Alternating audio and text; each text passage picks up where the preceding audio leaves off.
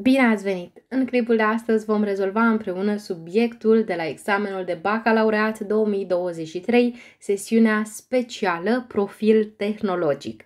Haideți să începem cu subiectul întâi. Calculați termenul A3 al progresiei aritmetice AN cu n mai mare egal decât 1 știind că A1 este egal cu 10 și A2 este egal cu 20. În cazul în care nu vă descurcați cu progresiile, vă rog să-mi spuneți în comentarii, să vă trimit clipul în care discut doar despre asta. Dar e foarte simplu. Progresia aritmetică este acea progresie unde termenii cresc prin adunare cu un număr numit rație. Acel număr se obține prin scădere. Trebuie să vedem cu cât am mărit noi de am ajuns de la 10 la 20. Cu alte cuvinte, rația este egală cu A2 minus A1. Asta înseamnă că rația este 20 minus 10 și obținem rație egală cu 10. Asta înseamnă că termenii merg din 10 în 10. Tot adunăm 10, 10, 10. Și atunci A3 va fi egal cu termenul de dinainte, adică A2, plus rația, ceea ce înseamnă că A3 va fi egal cu 20 plus 10 și obținem că A3 este egal cu 30. A fost simplu, nu-i așa? Bineînțeles că nu este singura metodă, puteți să rezolvați și prin alte variante. Sunt curioasă ce metodă ați folosit voi, așa că vă rog să-mi spuneți în comentarii. Mergem mai departe la 2. Se consideră funcția f definită pe r cu valori în r, unde f de x este egal cu 2x plus 4. Arătați că f de 0 plus f de 1 este egal cu 10. Haideți să-l calculăm separat pe f de 0. f de 0 se obține prin înlocuirea lui x cu 0.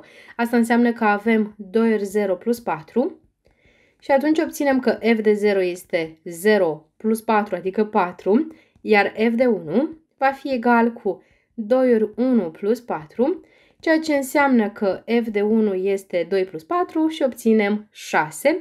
Și acum haideți să calculăm suma f de 0 plus f de 1 egal cu 4 plus 6 și, într-adevăr, obținem 10, așa cum se cerea. Mergem mai departe la 3. Rezolvați în mulțimea de numere reale ecuația logaritm în bază 2 din x minus 4 egal cu logaritm în bază 2 din 4. Trebuie, bineînțeles, să începem cu condițiile de existență. Întotdeauna cantitatea logaritmului trebuie să fie pozitivă. Îl ducem pe acel 4 cu adunare. Asta înseamnă că x trebuie să fie mai mare decât 0 plus 4, adică decât 4. Și acum haideți să vedem ce interval înseamnă. Mai mare decât 4 înseamnă de la 4 spre dreapta. În concluzie, x aparține intervalului 4 infinit deschis în 4 pentru că inegalitatea este strictă. Și acum, funcția logaritmică este o funcție exponențială. Asta înseamnă că egalitatea are loc dacă și acele cantități sunt egale. Cu alte cuvinte, pe acest x minus 4 trebuie să îl egalăm cu 4, nimic mai mult. Și atunci, x minus 4 egal 4, ceea ce înseamnă că pe 4 îl ducem cu adunare și obținem x egal cu 4 plus 4. Asta înseamnă că x egal 8, care aparține intervalului obținut anterior și atunci mulțimea soluțiilor este formată din 8. Haideți să mergem mai departe la 4. Cum vi se pare subiectul până acum? nu așa că e ușor? Haideți să vedem ce avem de făcut la 4. Un produs costă 80 de lei. Determinați prețul produsului după o ieftinire cu 20%. Haideți să aflăm mai întâi cât înseamnă 20%, adică 20 pe 100 din 80 de lei. 80 îl putem scrie ca 80 supra 1. După ce aflăm cât înseamnă cei 20% din 80 de lei, vom merge și vom afla prețul după ieftinire. Putem să simplificăm 80 și 100 prin 20. 100 împărțit la 20 este 5, iar 80 împărțit la 20 este 4. Asta înseamnă că obținem 20 pe 5 ori 4 pe 1. Putem să simplificăm această fracție prin 5 și rămâne 1 respectiv 4. Asta înseamnă că vom avea 4 ori 4, adică 16 lei. înseamnă că prețul se micșorează cu 16 lei și vom avea 80 minus 16 și obținem 64 de lei. Acesta va fi prețul produsului după ieftinirea cu 20%. Haideți să mergem mai departe la 5. Avem un punct M de coordonate 0,2, un punct N de coordonate 3,6. Arătați că distanța dintre punctele M și N este egală cu 5. Pentru asta avem acea formulă cu un radical. Și într-o paranteză aveam diferența dintre, o să sune amuzant, dintre X și într-o paranteză diferența dintre Y. Și atunci, haideți să înlocuim și avem radical din x-ul lui n este 3 minus x-ul lui m, adică 0. Y-ul lui n este 6, Y-ul lui m este 2. Nu e așa că e simplu? Ceea ce înseamnă că mn este radical din 3 minus 0 este 3, 6 minus 2 este 4 și acum 3 la a doua va fi 9, 4 la a doua este 16, Asta înseamnă că avem radical din 9 plus 16. 9 plus 16 este 25, iar radical din 25 este 5. În concluzie, mn egal cu 5, adevărat, exact ce se cerea. Și am ajuns la 6. Cred că acest clip va fi mult prea scurt pentru că exercițiile par ușoare până acum. Se consideră triunghiul ABC dreptunghic în A cu AB de 4, măsura unghiului C de 45 de grade. Arătați că aria triunghiului ABC este egală cu 8. Haideți să facem un desen. Avem un triunghi dreptunghic cu un unghi de 45. Asta înseamnă că acest triunghi e mai mult de atât. Haideți să vedem. Avem unghiul drept, unghiul de 45 și AB de 4. În cazul în care măsura unghiului A este de 90 și măsura unghiului C este de 45, cât va fi oare măsura unghiului B? Noi știm că suma măsurilor unghiurilor în orice triunghi este 180 de grade. Dacă dăm la o parte 90, ne rămâne 90. Dacă mai dăm la o parte și 45, rămânem cu 45. Asta înseamnă că unghiul B este congruent cu unghiul C și atunci se dovedește faptul că triunghiul acesta ABC nu este doar un triunghi dreptunghic, este chiar un triunghi dreptunghic isoscel. Asta înseamnă că cele două catete au aceeași lungime. În concluzie, și cateta AB este, AC este egală cu 4. Și acum, pentru aria triunghiului dreptunghic, avem produsul catetelor AB și AC pe 2, și înlocuind avem 4 ori 4 pe 2, simplificăm și rămânem cu 4 ori 2, adică 8. În concluzie, aria triunghiului ABC este într-adevăr egală cu 8. Haideți să mergem acum la subiectul al doilea. Începem cu exercițiul întâi, unde avem I2 și o matrice A de A, unde A este un număr real. Punctul A arătat că determinantul lui A de 2 este egal cu 9. Haideți să-l vedem mai întâi pe A de 2 care se obține prin înlocuirea lui A cu 2. Atenție! Nu calculați direct determinantul pentru că nu veți primi punctajul complet. Este punctaj separat. Pentru această etapă în care scriem cine este A de 2 și apoi calculăm determinantul. Încercați să rețineți asta. Acum, A de 2 va fi A-ul îl înlocuim cu 2, apoi avem 2 plus 3, adică 5, minus 1 și 2. Și acum haideți să calculăm determinantul. Determinantul lui A de 2 este egal cu determinant din 2, 5 minus 1, 2. Și vom avea 2 ori 2, mai întâi pe diagonala principală, minus și mergem pe diagonala secundară, 5 ori minus 1.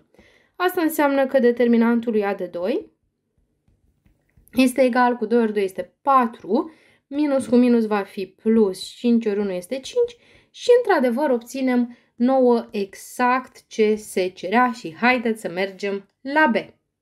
Arătați că A de A plus A de minus A este egal cu 2 ori A de 0.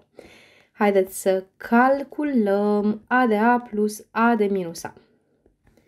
A de A este A, A plus 3, minus 1, 2, plus A de minus A se obține prin înlocuirea lui A cu minus A, așa că avem minus A, minus A plus 3, minus 1 și 2. Și vom aduna element cu element. Haideți să le colorăm imediat. Și încă un element. Și acum avem așa. A de A plus A de minus A egal cu A minus A este 0.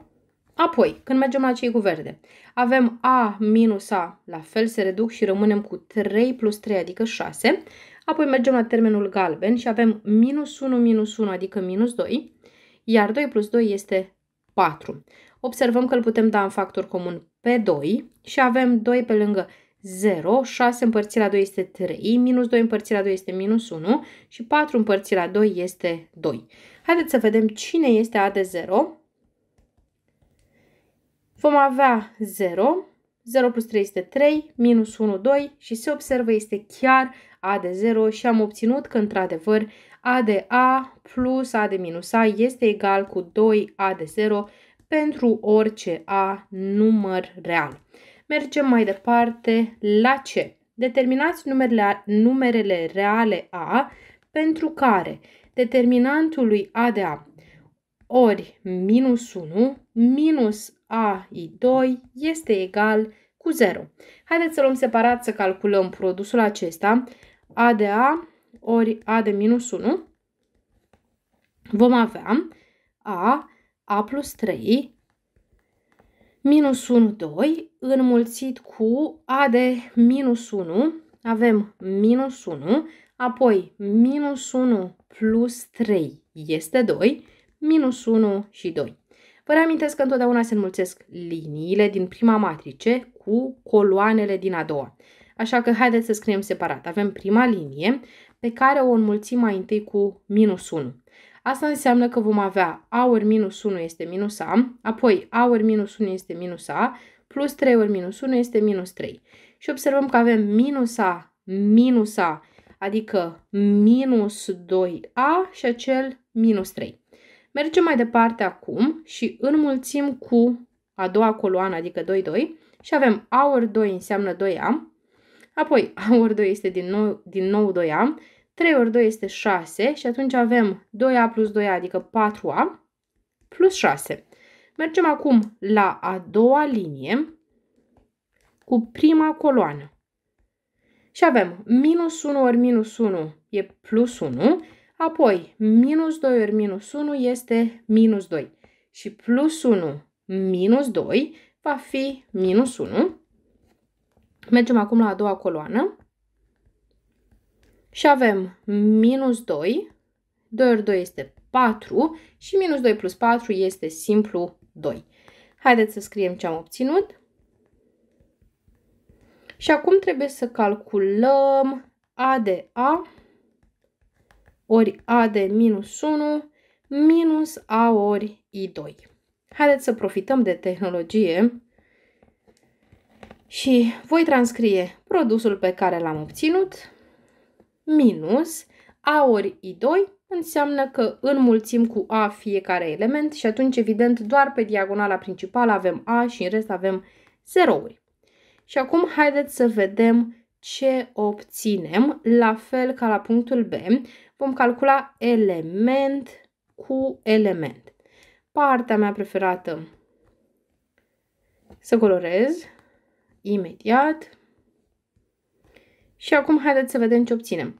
Avem așa, voi scrie în partea de sus, minus 2a minus 3 minus a.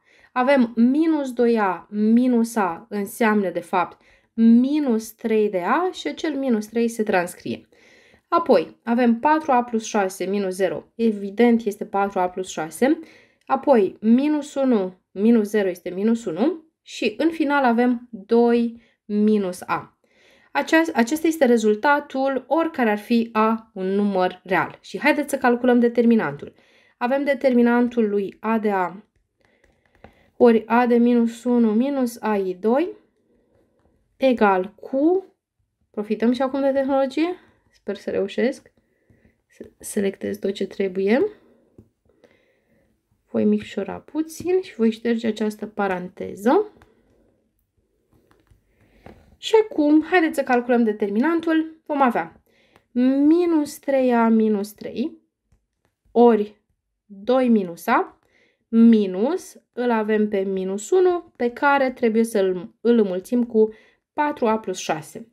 Și acum haideți să desfacem paranteza cu mare grijă la semne.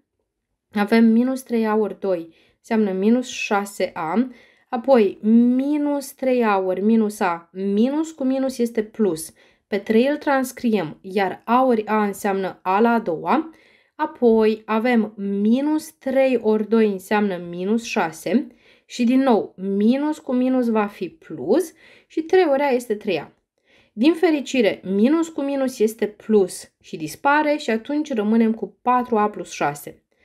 Asta înseamnă că determinantul acesta pe care îl aveam în enunț va fi egal cu îl avem pe 3a pătrat. Apoi, haideți să calculăm termenii cu a.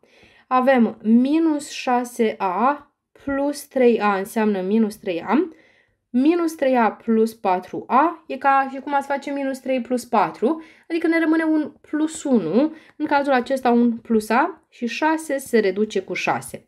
Asta înseamnă că determinantul este 3a pătrat plus a pentru orice a număr real. Și acum trebuie să le egalăm cu 0 conform enunțului. Fie faceți cu delta, fie dăm factor comun un a și atunci avem a pe lângă, 3-ul îl păstrăm, din a pătrat dacă luăm un factor comun un a ne rămâne a, iar din a rămâne cu 1, rămânem cu 1. Și acum un produs este 0 dacă unul dintre factori este 0. Asta înseamnă că fie a-ul este egal cu 0, fie paranteza 3a plus 1 este egală cu 0.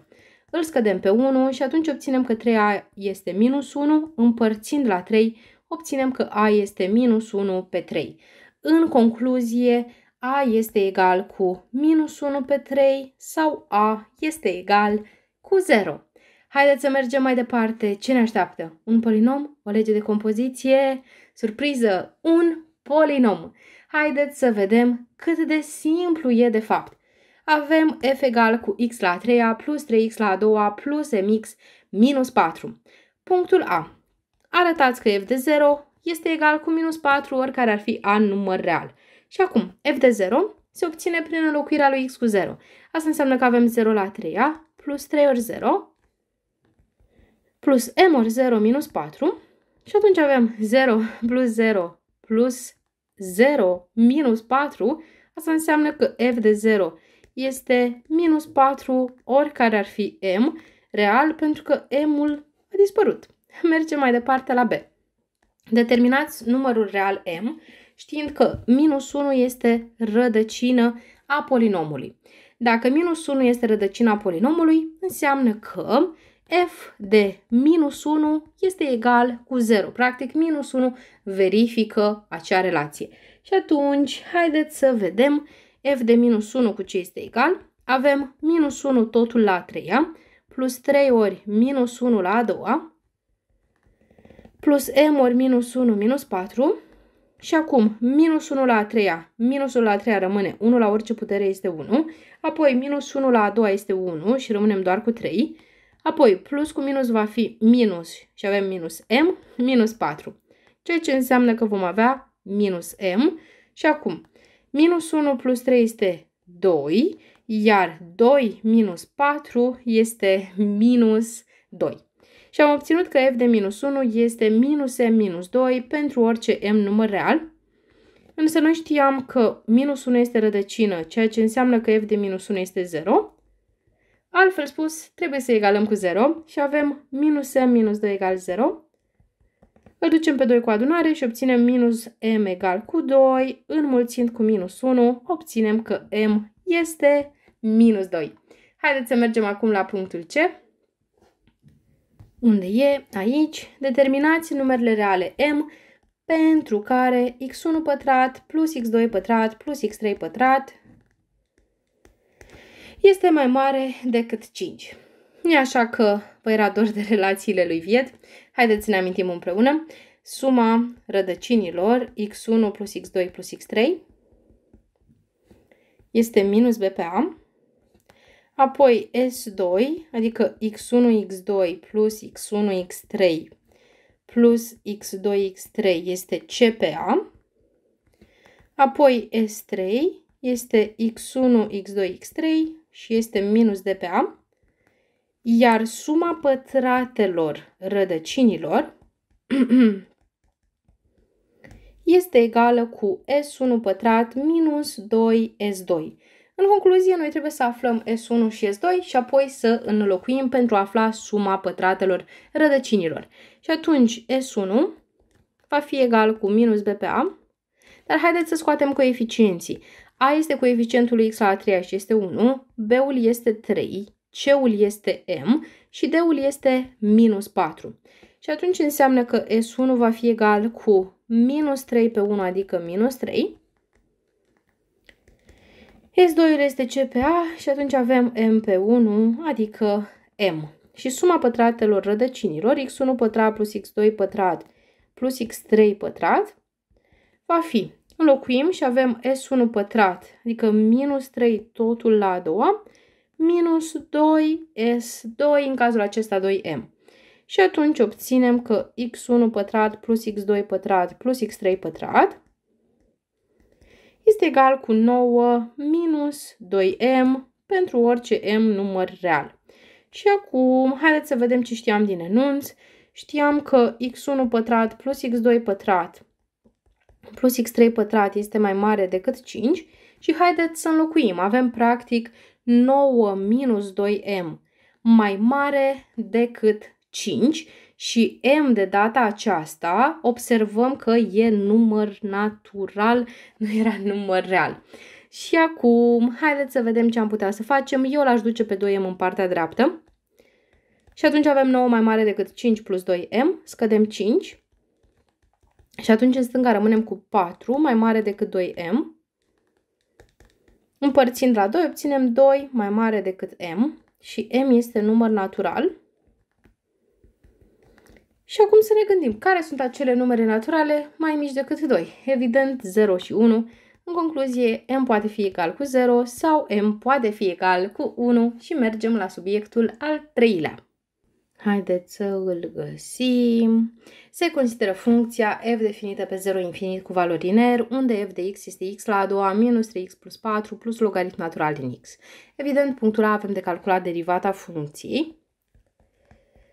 Asta înseamnă că vom avea x la a doua minus 3x plus 4 plus logaritm natural din x, totul derivat. Le vom deriva pe fiecare în parte. Din fericire, nu avem un produs sau un raport. Și atunci, haideți să vedem ce obținem. Atunci când îl derivăm pe x la a doua, 2-ul cade în față și rămânem simplu cu x. Apoi, 3-ul acesta este o constantă și iese în față, iar x derivat este 1.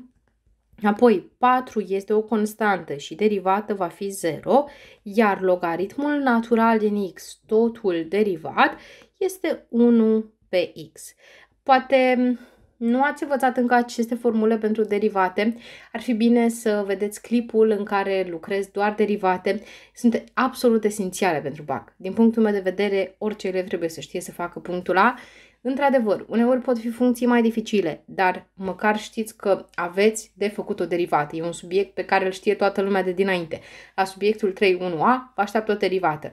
Așa că încercați să învățați și să înțelegeți foarte bine cum se calculează derivata unei funcții. Și acum, f derivat de x va fi egal cu 2x minus 3 plus 1 pe x. Haideți să aducem la același numitor. Le amplificăm cu x Asta înseamnă că f derivat de x va fi egal cu numitorul comun este x și acum aveam 2x pe care l-am înmulțit cu x și atunci devine 2x la a doua. Apoi minus 3x și îl mai aveam pe acel 1 și observăm că încă nu am ajuns la ce trebuie, trebuie să mai lucrăm puțin. Așa că haideți să vedem ce am putea să facem. Vă propun să-l spargem pe acel 3x în minus 2x minus x. Și atunci am putea să dăm factor comun în primii doi și apoi pe ultimii doi să-i grupăm. Asta înseamnă că avem 2x pe lângă.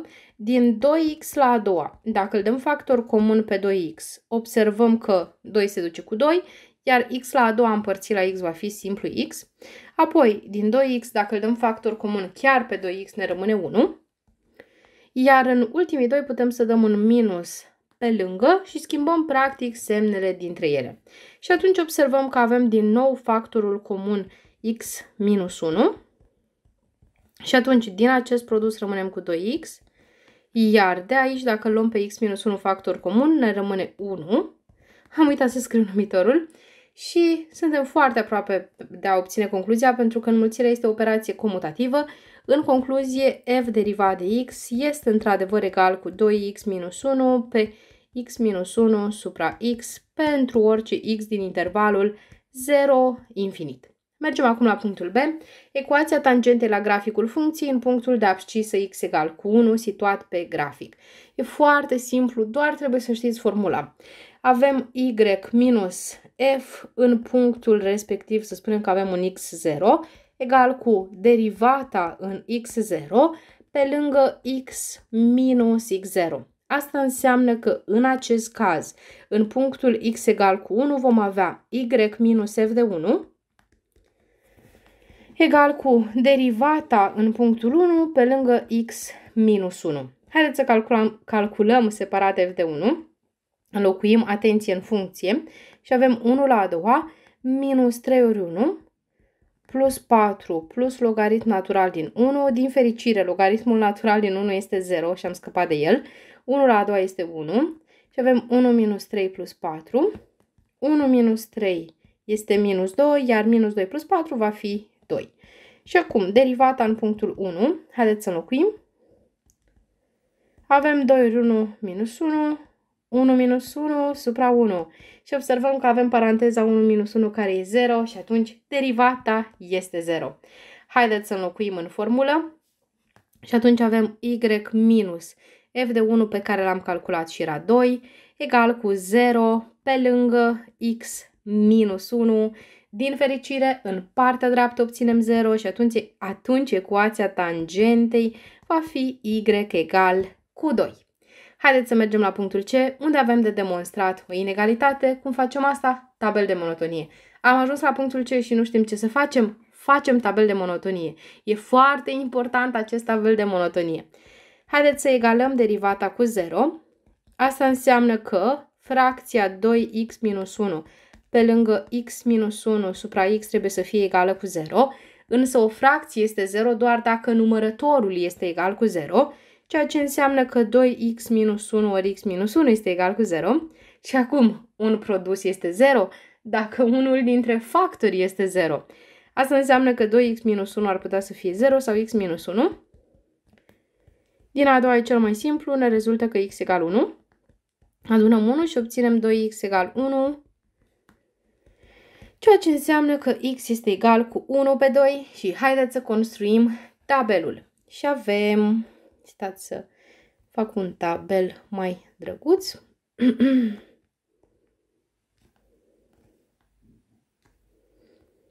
Avem x, f derivat de x, f de x.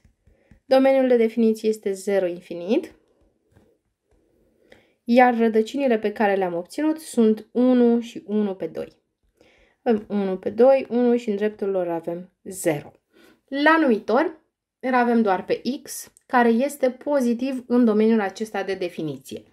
Mai departe, la numărător, dacă ne amintim, aveam o funcție de gradul al doilea, cred că era 2x pătrat minus 3x plus 1.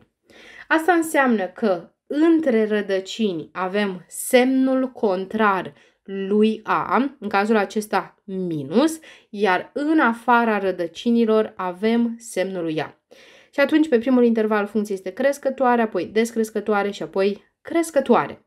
Haideți să interpretăm tabelul. Nu e suficient doar să-l facem, ci trebuie să scriem ceea ce obținem din el. Pentru asta, haideți să aranjăm puțin pagina, micșorăm și tabelul. și să scriem ceea ce am obținut. Derivata este mai mare egală decât 0 pentru x din intervalul 0, 1 pe 2, asta înseamnă că funcția este crescătoare pe acest interval. Apoi, mergem pe intervalul următor. Derivata este mai mică, egală decât 0. Pentru x din intervalul 1 pe 2, 1, asta înseamnă că funcția este descrescătoare pe acest interval. Și în final, avem derivata mai mare egală decât 0 pentru x din intervalul 1 infinit. Asta înseamnă că funcția este crescătoare pe intervalul 1 infinit. Și observați cum nu ne-am legat de punctul C. Am făcut doar tabel de monotonie. Și acum observăm că trebuie să vedem ce se întâmplă pentru x din intervalul 0-1. Acum, haideți să evidențiez această zonă din tabel.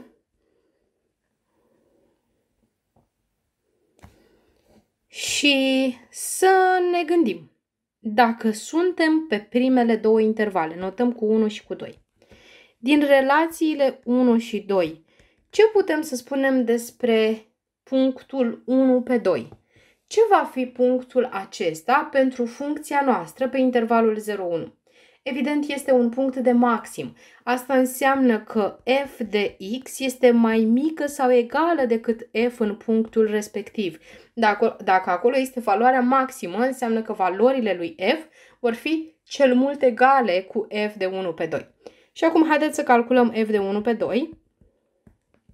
Din păcate nu mai știu cât era funcția. Era x la a doua minus 3 ori 1 pe 2 plus 4, sper că am ținut bine minte, plus logaritm din x. Și haideți să vedem ce facem pentru a ajunge la ceea ce ni se cere în enunț. Avem atunci f de 1 pe 2 egal cu 1 pe 2 la a doua înseamnă 1 pe 4, apoi minus 3 pe 2 plus 4 pe acest 1 pe 2 din cantitate îl putem scrie ca o putere a lui 2 este 2 la puterea minus 1. Și haideți să vedem ce am mai putea să mai facem. Mutăm în partea de jos ce am scris în zona aceasta. Și acum, având în vedere răspunsul pe care trebuie să îl avem la final, eu vă propun să aducem același numitor, să amplificăm astfel încât să obținem 4 și atunci amplificăm cu 2 respectiv cu 4 Asta înseamnă că f de 1 pe 2 este egal cu 1 pe 4 minus 6 pe 4 plus 4 ori 4 este 16 și avem 16 pe 4. Acum vă reamintesc că această putere de la exponent, dacă avem, spre exemplu, logaritm în bază a din x la puterea alfa, acel alfa de la exponentul cantității merge în față. Și atunci avem plus cu minus va fi minus logaritm natural din 2. Și acum, haideți să calculăm f de 1 pe 2 este egal cu 1 minus 6 este minus 5, iar minus 5 plus 16 este 11, așa că avem 11 pe 4 minus logaritm natural din 2. Și când înlocuim, vom obține că într-adevăr f de x este mai mic egal decât 11 pe 4 minus logaritm natural din 2 pentru orice x din intervalul 0, 1. Haideți să mergem la ultimul exercițiu. Avem f egal cu e la x plus 6 supra 2x plus 3. Punctul A ar trebui să fie foarte simplu. Haideți să înlocuim direct. Avem integrale de la 1 la 3 din e la x plus 6 supra 2x plus 3 minus 6 supra 2x plus 3 de x observăm că se reduc și atunci rămânem cu integrală de la 1 la 3 din e la x de x. Și aceasta este cea mai frumoasă funcție, pentru că integrată, derivată, este fix același lucru. Asta înseamnă că vom avea tot e la x de la 1 la 3. Și atunci avem e la a treia minus e la 1, adică e. Și observăm că încă nu am ajuns la forma cerută. Trebuie să-l mai dăm un factor comun pe e. Din e la a treia, dacă am luat un e în factor comun, ne rămâne e la a doua, minus din e, dacă iau un factor comun un e, ne rămâne 1 și am terminat punctul A. avem încă 5 puncte. Mergem mai departe la B, unde nu e așa dacă la punctul A s-a redus fracția, la punctul B se va reduce e la x. Practic au, fost, au făcut schimb între ele. Și atunci avem integrală de la minus 1 la 0 din e la x plus 6 supra 2x plus 3 minus e la x de x și atunci rămânem cu integrală de la minus 1 la 0 din 6 supra 2x plus 3 de x. Haideți să vedem, facem loc, dar nu ștergem cu totul. și acum, 6 acela e o constantă, îl putem scoate în fața integralei.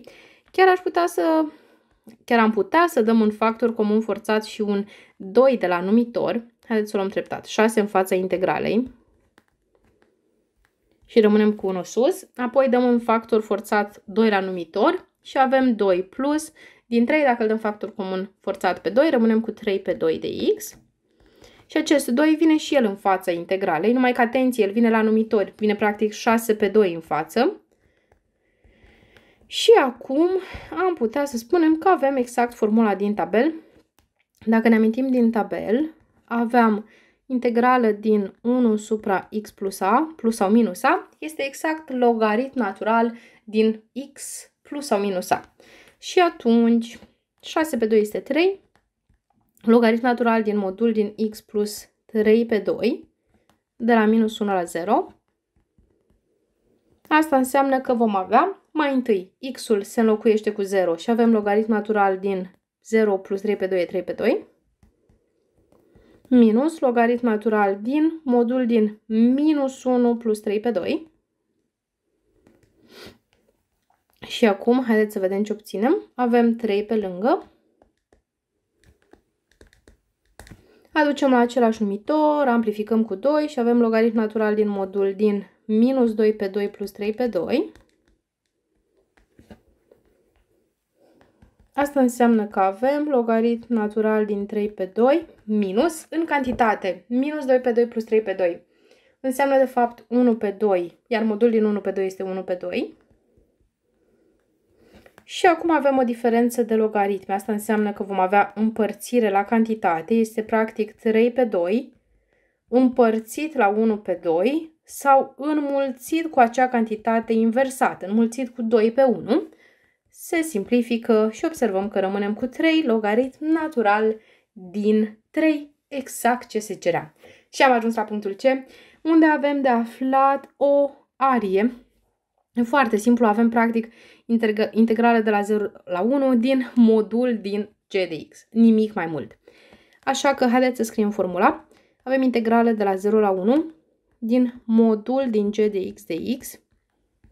Atenție la acel modul trebuie să justificăm cu ce este el egal.